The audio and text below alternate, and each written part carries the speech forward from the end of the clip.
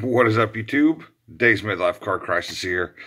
Um, so last video I said I wasn't going to pick up much, and I am a liar because I picked up some bunch of stuff. So I'm going to show them off. Um, but this time I actually have nothing coming in.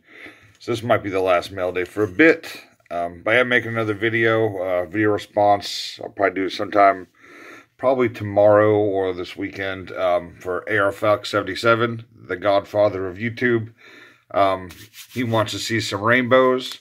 Um, and he also wants to get some new subscribers and meet some new friends. So go check out his channel and uh, do the contest. Um, it's going to be fun stuff. So quick shout to him. And then let's show off some cards. Uh, pick this up um, just in time for him to get benched and replaced. So uh, Eli Manning rookie. Uh, lucky I got that for like a dollar fifty shipped. Um, another cheap one I got, but you know, potential Hall of Famer, Adrian Peterson rookie. Uh, this one looks pretty solid condition. Got that for two or three bucks. Um, picked up a Steve Largent rookie. Um, got this one pretty cheap. Not that great a condition. Uh, there's a little tiny crease up in here, which I didn't see, but oh well. I'll pick up a better version at another time. But Steve Largent rookie. Um, picked up another Roy Halladay. Uh, Bowman. And a bunch of autos here.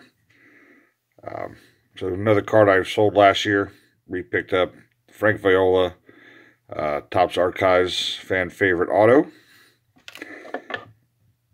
Um, for the Mets PC. Let's pull it out of the case here. Um, case is kind of dirty from all the tape. I picked up a museum collection Darryl Strawberry. Um, so do have a bunch of autos of him. Just continue to uh, pick those up. Um, one of my favorite New York Mets from the 86 team. Um, but this is not in a Mets uniform. It is Keith Hernandez in a Cardinals uniform. Um, one of the best autos in the business. I mean, look at this thing; is pretty, pretty awesome. So, Keith Hernandez Cardinals uniform, and last two are Hall of Famers. One basketball, one baseball. Uh, card I've been watching now for weeks and weeks. Uh, the opulence, uh, Chris Mullin. Uh, but want to get an auto of him, and um, haven't really found too many I really really liked. Um, in a good price range. A lot of them were stickers, so this came out.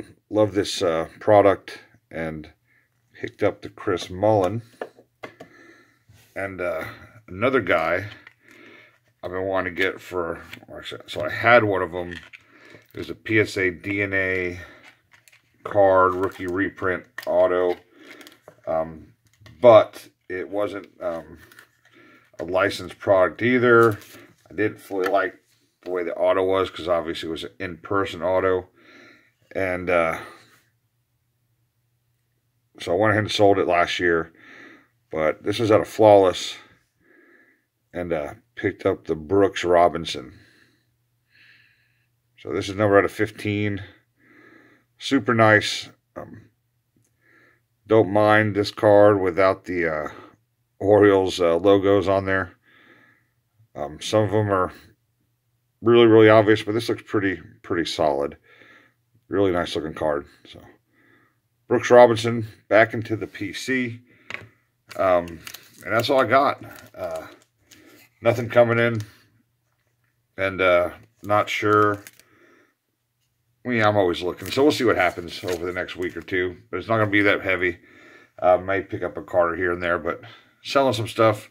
Not any main PC stuff like last year, but just trying a lot of moving a lot of low end crap I don't need.